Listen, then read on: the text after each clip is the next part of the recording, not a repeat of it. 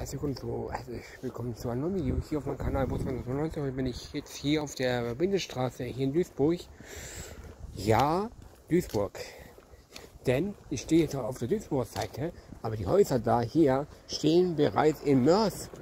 Keine Ahnung warum, aber so ist es leider. So ist es leider. Und jetzt gehen wir mal zu so, so, so, so Köfe, so Brücke. Schauen wir, ich habe auch neue so, so Abfalltonnen bekommen.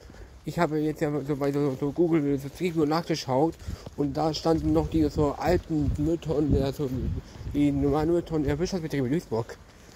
Und jetzt kommen wohl die so Mörser, Mörser Müllabfuhr extra nur wegen dieser Häuserseile hier rein. Aber das wird sich wohl jetzt, jetzt so bald, so bald, bald wieder ändern, denn jetzt in diesem Bereich werden die so Grenzen wieder neu gezogen leider, leider wohl so keine so, so, so komplette Eingemeindung. Das wäre super, das wäre prima für uns alle. Aber dafür, und was, genau, die, die Straße hier, die ist komplett noch so Duisburg, eben so der so, so Gehweg. Aber die Häuser da, die Häuser stehen bereits auf Mörsergebiet. Und die profitieren ja von der, von der, den Laternen hier. Da ist hier in Duisburg keine so Nachbarschaltung gibt. Und hier da, da steht die Wirtschaftsbetriebe Abfahrton. Genau dieselben, die ich bei Google Maps auf der linken Seite gesehen habe. Keine Ahnung warum. Vielleicht wurden die so Grenze erst vor wenigen Jahren verändert, denn die Aufnahmen standen, standen ja von Jahr 2008. Hier ist eine kleine so Treppe, über die wir gleich hochstehen, über die wir jetzt hochstehen, um zur Kälbebrücke zu so gelangen. Die so, so Kölnbrücke ist die so wichtigste Brücke hier in der so Gegend und ist jetzt leider für den so Kfz-Verkehr gesperrt. Das heißt, auch für Busse. Ach, da ist die Kirchenbrücke. Und hier ist auch eine Aufnahme. Genau, das ist die so Grenze hier. Die Grenze verläuft hier links am so Gehweg. Ja, das heißt, ich habe jetzt versucht, jetzt für die so linke Häuser einen MyPass zu, zu bestellen.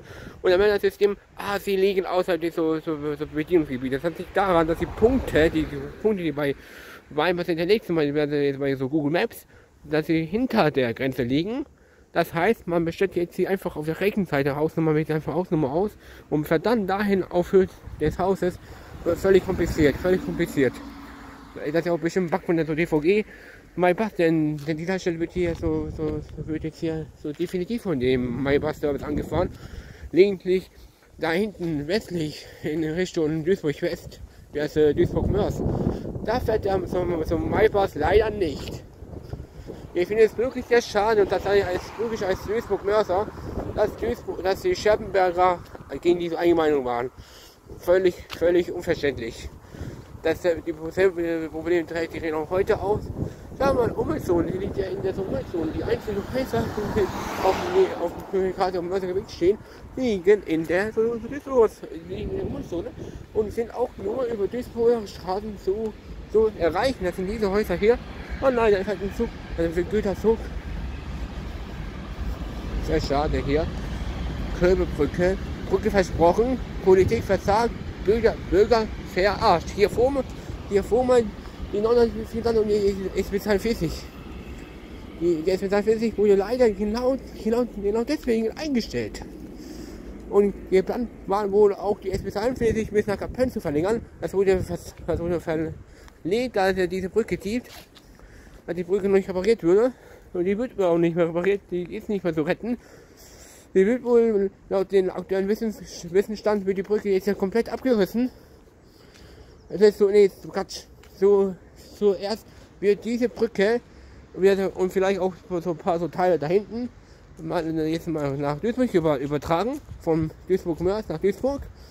Vom, vom Mörs nach, so, vom Mörs nach Duisburg über, übertragen. Ja. Und dann, dass sie, dass sie so, so Stadt Duisburg selbst eine Brücke baut. Aber ich frage mich, warum? Die Stadt Mörs hat doch, hat doch so viel Geld, wenn sie sich für teuer sich ein Rathaus mieten kann und eine neue so, so Bibliothek und dann irgendwie neue so Museen von, so, von irgendwelchen Grundschulen. Aber für Technik und für PNV ist kein Geld da. Schau mal, ich stehe noch jetzt hier in so, so Mörs. Genau, ich stehe noch immer noch hier im Mörs. Ich noch, noch Stand Januar 2020 und ich kann mich jetzt hier komplett frei, komplett frei bewegen. Diese Einbahnstraße hier. Ja, ich kann mich hier auf der, auf der Straße bewegen. Ja, genau, dann geht es in Richtung, genau, da, genau da, ab da fängt die, genau ab da fängt hier so Duisburg an. Ja, so ist es leider. So ist es leider. Das ist diese Körbebrücke, über die bin ich sehr, sehr oft gefahren in meiner so, so, so, so Kindheit. Sehr, sehr oft, da ich öfters mit meiner Oma und auch mit meinen Onkels mal nach so von in die so, so Duisburg Innenstadt gefahren bin und die wohnen jetzt hier, die, die wohnen jetzt hier in so, so, so Kapellen und damals wurde noch die 924 direkt von Duisburg, direkt von Kapellen bis, bis, bis in die, so, Duisburg City. Eine sehr, sehr tolle Busverbindung, annehmer Takt. Das wollte die so DVG auch jetzt wieder so einführen. Aber die so Stadt Mörs war, hat gesagt, nein, das wollen wir nicht. Und, und hat auch noch die so, Schülerbusse eingestellt. Ich frage mich, warum. Die Schilder sind jetzt hier in so Duisburg Style. Endet hier diese Mörser Stadtgrenze? bin ich jetzt hier in Duisburg. Ja, das ist die Sofastraße, jetzt so der Wasserskianlage am so, so, so Töpfer. So, so, so nennen wir so Local, so, so, so Töpfersee. Der liegt natürlich auch jetzt hier in der so, so Umweltzone. Das heißt, ich, hä? Nummer, das ist nur Exklave hier quasi. Oder so eine äh, Art Exklave. Dann steht hier außerhalb der Umweltzone. Aber die Straße ist nicht von Fahrzeugen befahrbar. Auch wenn die außerhalb der Umweltzone liegt, wenn sie jetzt keine Umweltplakette haben. Sprich, man muss immer durch die Umweltzone fahren, um diese Straße abzuschließen machen. Diese Kölbrücke, ich laufe einfach nicht darüber. Vielleicht kommt ein Auto jetzt hier lang. Das ist sehr, sehr gut für mich. Ich laufe einfach wieder zurück über diese Kölbrücke. Die Brücke soll kommen, aber aber eben keine so, so Behelfsbrücke. Die Stadt Immers wollte nämlich nicht zuerst nicht so, so, so provisorische wie so Behelfsbrücke bauen, damit zumindest die Busse rüberfahren können. Aber das, die, die, die Stadt Duisburg wollte dafür nicht zahlen. Und das finde ich auch okay so. Denn wofür soll die Stadt Duisburg das zahlen, wenn die Brücke vollständig jetzt auf dem Mörsergebiet liegt? Duisburg wurde schon genug, den, genug von den Stadtbürgern bestraft, dass sie ja nicht ihre so Eingemeindung, wäre die so, Landesregierung, die Landesregierung, das war was natürlich dafür, dass das hier jetzt hier, das alles jetzt so Duisburg, Wirtschaftsbetriebe Duisburg, mein, sie bieten sehr gute Leistungen, also auch am Bus, DVG, die 920 fährt ja lang. Die 920 fährt jetzt da runter über so einen Bahnhof und da hat man sehr gut Anschluss an, den, an, den, an die, die RB 31 in Duisburg. Und zwar, und zwar barrierefrei, übrigens barrierefrei, komplett barrierefrei, ohne Felsprechung. Sprich, man muss nicht, nicht die Etage wechseln, eben, ebenerdig würde ich sagen. Und die Ampeln auch gestohlen von irgendwelchen Dieben. Aber die oben haben, haben sie nicht gemacht. Die waren so dumm und dann Ampel. Die Ampel wurde bereits vor fünf Jahren von dieser eine mit der so neuesten Technik. Das war natürlich sehr heiß bei den Dieben. Eine Zeit lang durften hier nur Autos drüber fahren und jetzt gar keiner mehr, außer Fußgänger und die Radfahrer. Nur nicht mal Motorradfahrer dürfen ja offiziell durchfahren. Aber ich kenne Leute, die einfach hier rüberfahren. Und das ist der Romberter Bahnhof da hinten. Ich laufe mal wieder zurück. Da ist wieder die 920er mit der Radio Duisburg Werbung cool. Die fährt alle Busse in die 29 fahren jetzt nur noch, nur noch bis zur Grenze. Früher, früher hieß die 29 mal die so schnell, Schnellbus zwischen Duisburg Mitte und Mörs Mitte. Leider wurde diese eingestellt und durch die Linie SB30 ersetzt und fährt nicht mal zum Bahnhof. Ich glaube schon, was hier steht. Brücke der ich kann es leider nicht lesen. Öff, Öffnungs Möglichkeit. Kann jemand das lesen? Ich kann es leider nicht lesen, da jemand jetzt drüber gesetzt hat. Sehr schade. Sehr schade von der so Stadt Mörs jetzt hier, dass sie nicht diese 300.000 Euro aus der so Eigentasche zahlt, denn ja, das ist leider so. Das ist so. Die nutzen auch hier als Parkfläche, manche Autos fahren als Parkfläche. Schau mal, die haben sogar diese, ach so, die Laternen gehören hier so Mörs. Hä? Schau mal, hier sind die Mörser, hier sind die Mörserlaternen und das sind die Sucherlaternen. Das, obwohl das beide, beide liegen jetzt hier im selben Stadtgebiet, nämlich vom Mörs. Aber was ich noch an Mörs sehr, sehr schlecht finde, dass sie zum Kreis Esel gehören. Ich kann Esel gar nicht mehr aussprechen, denn die haben so viel Scheiße gemacht. So viel so falsche Sachen. So ist es leider. Und, und so halb Mörs. mag den so, mag Wesel nicht. Die sagen dann, Wesel ist ein Ausland. Genau dasselbe Spiel wie zwischen Duisburg und Köln. Hier kann man sehr gut spotten. Das ist ein sehr gutes Wetterpunkt für alle, die gerne RB31, der wir Lindfahrzeuge sehen wollen und auch Güterzüge. Ja, hier fällt jetzt gar keiner durch, oder? Hier stehen so die so, so, so, so Aufkleber der, so, der so, lokalen Stadtwerke, die natürlich den ehemaligen Stadtwerken. Und die Mörser Stadtwerke hat sich natürlich überlegt, na super, kann, man kann auf dem Handy so Störungen melden. Klappt leider nicht so immer. Muss ich leider sagen. Muss ich leider sagen. Schau mal, das ist mal ein Gehweg. Das heißt, ich muss jetzt hier auf der Straße rumlaufen oder was? Mit der Bindestraße. Ich würde euch noch was zeigen. Eine Bindestraße. Ah, jetzt, jetzt ist noch hier im Norden, ist noch die alte, alte Linie von der Körbebrücke. Körbe wird doch mit zu Ö geschrieben, oder doch nicht? Da sind einmal zwei Schreibweisen. Ah, Umleitungsstrecke, Wasserskianlage nach links. Alle müssen nach links fahren, ein Radfahrer. Aber da steht nichts von Radfahrern. Das ist sehr, sehr verwirrend. Ein alter Käfer. Alter Käfer. Alter Käfer. Er hat angehalten, um die Köln anzuschauen. Das ist kein Gehweg. Das ist kein Gehweg. Er muss auf der Straße laufen. Das heißt, das ist ja, ja ich sag, in der Innerort, das ist innerorts hier. Duisburg, so, so, so Duisburg laut ein Schild hier. Ja, mal, ich steh, bin jetzt noch in Mörs. Das ist links ist ebenfalls Mörs, die Brücke auch und der östliche Teil.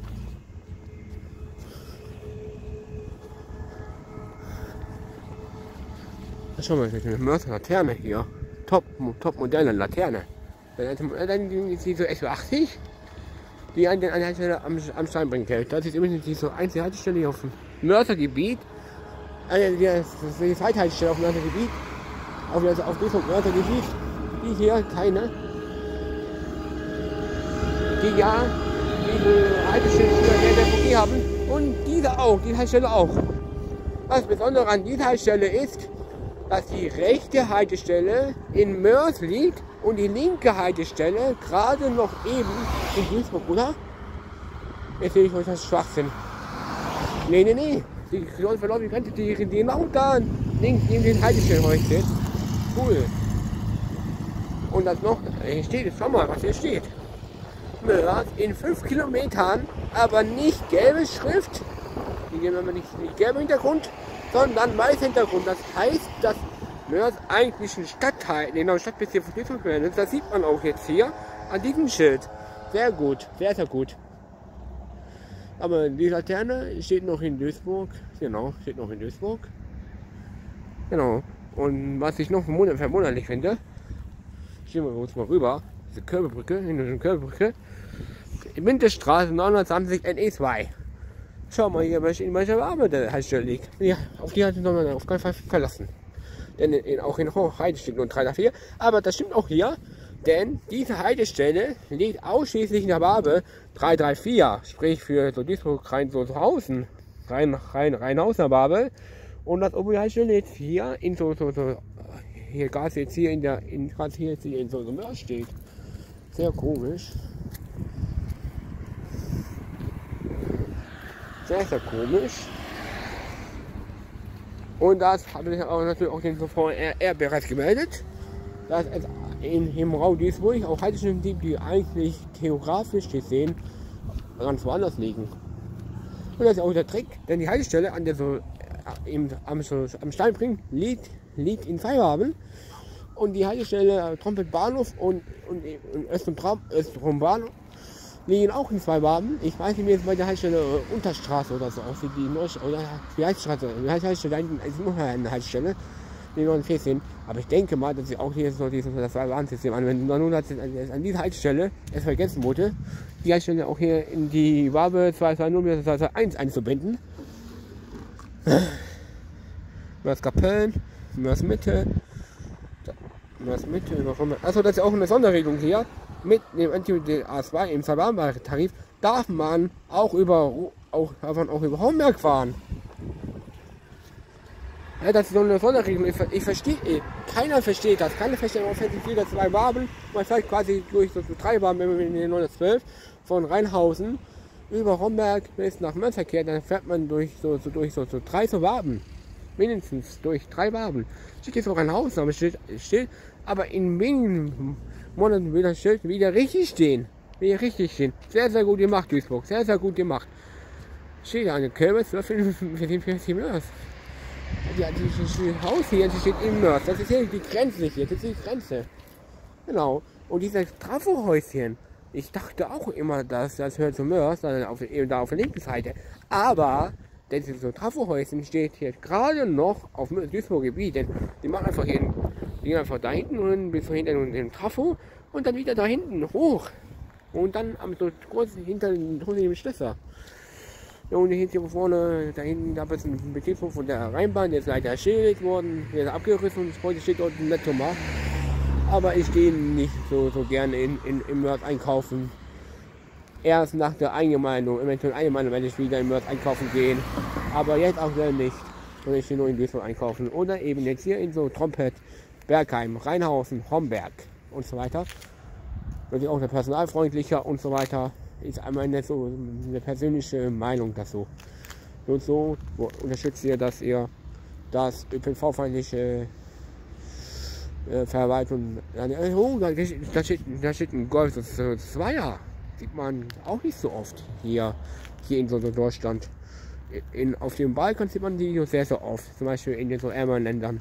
Aber jetzt hier in so, hier in Deutschland, das ist ein Oldtimer, hat ein Oldtimer, das ist ein sehr schöner Golf. Und das war's auch schon jetzt hier mit dem Video. Bis zum, bis zum nächsten Video. Tschüss.